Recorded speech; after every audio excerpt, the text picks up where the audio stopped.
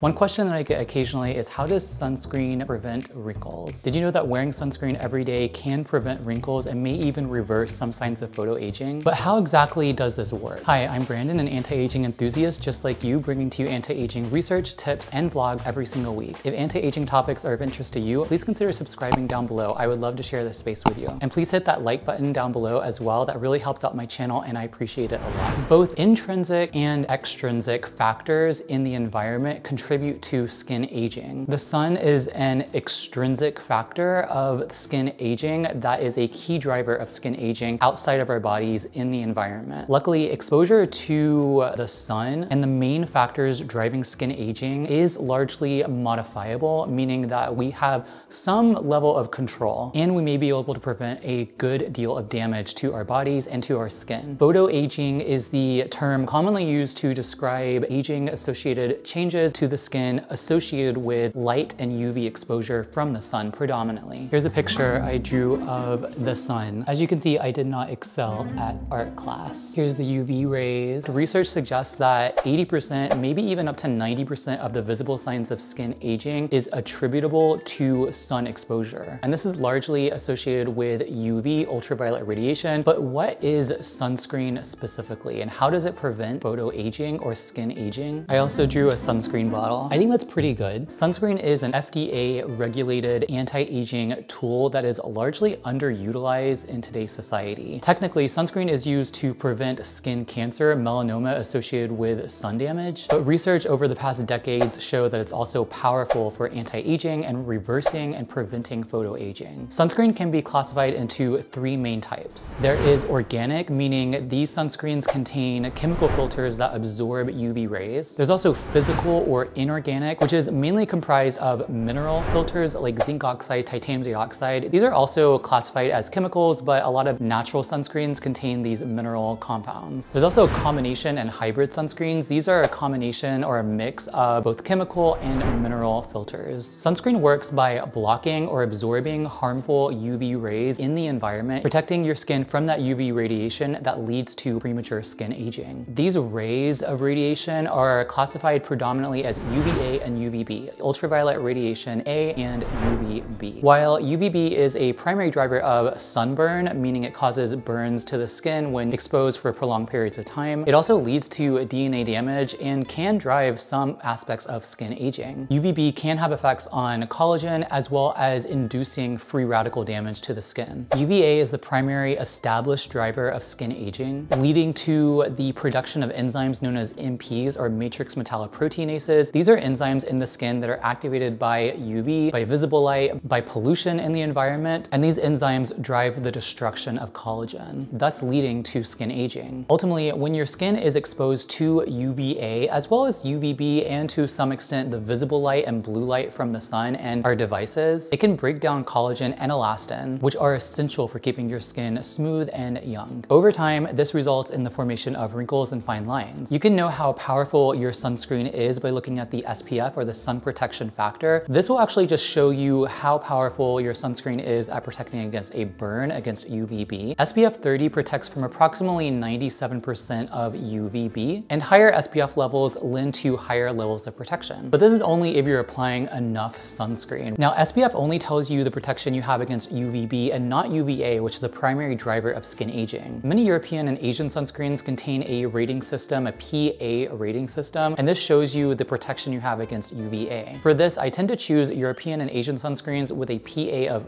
4+. That gives you the maximum UVA protection. In addition, blue light, visible light may increase the oxidation and inflammation in the skin, which also drives skin aging to some degree. Some sunscreens, like tinted mineral sunscreens, these tinted mineral sunscreens may protect against the damaging effects and the aging effects of blue light and visible light. They do protect against hyperpigmentation, which is also a common concern for aging skin, but that iron oxide, that pigment in the tinted mineral sunscreens may block and absorb the harmful effects of the visible light. So how much sunscreen do you need? For ultimate anti-aging protection, I generally go for an SPF of 50 plus and a PA rating of 4 plus. However, just because you choose a high SPF and PA rating doesn't mean you're actually reaching that rating. Many people under apply, significantly under apply sunscreen and do not reach the SPF and the PA rating on the label. Typically, sunscreens are rigorously tested tested at a thickness of approximately two milligrams per square centimeter of skin. This equates to about a quarter of a teaspoon, one fourth of a teaspoon of sunscreen for the face, a quarter of a teaspoon of sunscreen for the neck. These are the primary areas in which our skin is exposed to UV on a fairly daily basis. And these are also the main areas where the visible signs of aging show initially. For the entire body, about an ounce, one ounce of sunscreen is needed. This equates to approximately one shot glass of sunscreen for the entire body, including the face and the neck. By applying sunscreen regularly on a regular basis, basis, a daily basis, you can protect your skin from the damaging effects of not only UV, UVA, and UVB, but potentially even blue light and visible light. Make sure you're choosing a broad spectrum sunscreen. Most sunscreens are broad spectrum of an SPF of at least 30. And if you can find a sunscreen with a PA rating, try to choose a PA rating of three or four plus. And there you go, that's how sunscreen protects against wrinkles. This is a powerful anti-aging tool that is widely underutilized. Let me know down below how sunscreen and applying sunscreen has changed your skin skin. Thanks so much for watching. Please like this video if you found it helpful. And please consider subscribing so you can see more anti-aging videos like this one every single week. And until next time, have a good one.